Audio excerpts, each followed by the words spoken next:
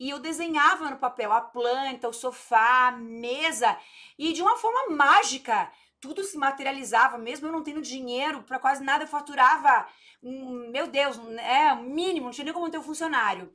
E depois, quando eu fui estudar tudo que eu estudo, eu entendi que aquilo era é, muito poderoso, eram técnicas muito avançadas e que a gente faz ao natural. Mas vamos entender por que fazemos ao natural, vocês sabem? Porque nós não temos que aprender nada dessas técnicas. Nós não deveríamos aprender nada dessas técnicas. Tudo que nós ensinamos não é nenhuma novidade sobre a face da Terra. Tudo está disponível para nós. Nós temos que reaprender a ser ser humano quando nos desviamos da fonte. É, olha, olha só, eu não estou conseguindo ganhar na loteria. O que eu devo fazer? A, a minha pergunta seria: qual é o propósito de você querer ganhar na loteria? Olha, gente, o bingo, isso você ensina no aula criação. Mas eu quero dar uma dica para vocês. Olha só.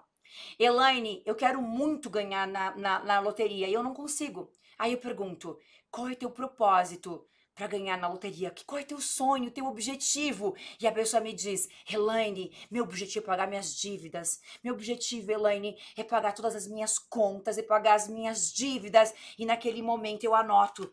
Eu já sei como fazer ela ganhar na Mega Sena. Porque eu anoto o seguinte: qual a vibração que ela está?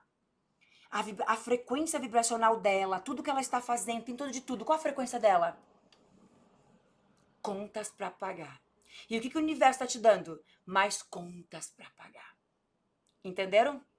Qual é teu propósito? Qual é teu objetivo com um objetivo desses? Você acha que o universo vai dar esse prêmio para você? Existe um alinhamento com o prêmio da loteria. Existe um perfil, um alinhamento, um propósito. Qual é o propósito de você querer fazer isso para o mundo? Eu quero guardar esse dinheiro para eu poder viver feliz para sempre, é, é, vivendo lá nas ilhas do Caribe sem trabalhar. Você nunca vai ganhar na Mega Sena. Nunca. Por quê? Porque esse dinheiro não existe permissão espiritual para ir na mão de alguém que não tem o que fazer com ele, porque o teu sonho é o teu ego. O que é o teu ego? É o teu interesse pessoal. E o que é a centelha divina, o Deus que existe dentro de você? É utilizar o teu propósito para servir ao mundo. Elaine, você já ganhou na, na Mega Sena? Isabela Andrade. Nunca, desde que eu nasci, foi o meu objetivo de vida. Nunca nem joguei. Nunca nem joguei, não tenho nenhum interesse de ganhar, nunca tive. Às vezes tem uns bolão lá, uns prêmios legais. Eu nunca foi algo que me motivou. Nada, nunca. Então, o que vocês têm que entender, e não estou dizendo que está certo ou errado, pelo amor de Deus, não é isso. Eu estou dizendo que é, se o meu propósito fosse ganhar na loteria, eu tenho certeza que eu ganharia. Eu tenho certeza que eu ganharia. Porque eu sei o que está por trás é, de um sonho. Então, existe um alinhamento com o teu sonho.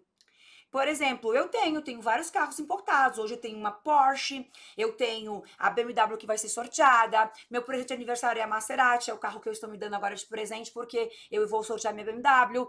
Mas isso não é ego? Por que, que seria ego? Enquanto é ego, você tem que administrar isso né? Então, é, quando você faz o holococriação, você entende, por exemplo, fala o seguinte: Ah, Elaine, eu vi que você tem uma bolsa da Louis Vuitton. Eu acho tão ego isso. Ok, você acha? O que, que eu penso sobre isso? É uma bolsa que eu gosto. É uma bolsa que eu gosto. Mas isso não é o teu interesse pessoal, por que seria? Eu vou usar uma bolsa da Louis Vuitton porque eu quero mostrar para o mundo que eu sou melhor do que o outro? Ou eu vou usar a bolsa da Louis Vuitton porque eu gosto, porque eu sempre sonhei com isso, porque ela faz com que eu me sinta confiante, segura e dane-se os outros. Ok, está alinhado com a minha centelha. Fez sentido? O que vocês precisam entender é que o dinheiro é divino, o dinheiro é lindo, porque hoje eu ajudo, eu sustento famílias, eu ajudo as pessoas, e quanto mais dinheiro eu tenho, mais pessoas eu posso empregar, mais pessoas, mais empresa eu posso abrir. Agora, se o dinheiro é para o teu benefício, Não existe autorização porque dinheiro é energia e precisa estar em movimento. Eu fico muito feliz quando a minha chácara precisa de jardineiro, de cortar a grama. Aí alguém fala: "Mas meu Deus, custa tanto que ótimo, eu tenho para pagar e alguém precisa receber". É esse o valor do dinheiro. Eu, eu tenho três empregadas hoje dentro de casa, uma para passar roupa, a ele que é minha governanta e a outra que cuida da casa. Que ótimo, eu tenho três pessoas que ganham seu salário no final do mês que trabalham para mim. Por quê? Porque eu tenho prosperidade. E ao ter prosperidade e abundância, as pessoas são ajudadas, porque elas têm os seus empregos garantidos. Entenderam?